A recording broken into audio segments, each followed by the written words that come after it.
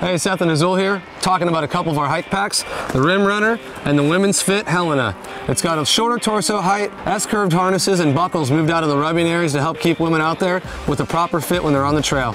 These are great packs for maybe two or three hours on the trails. They're both equipped with a 100 ounce or 3 liter antidote reservoir with Quick Link.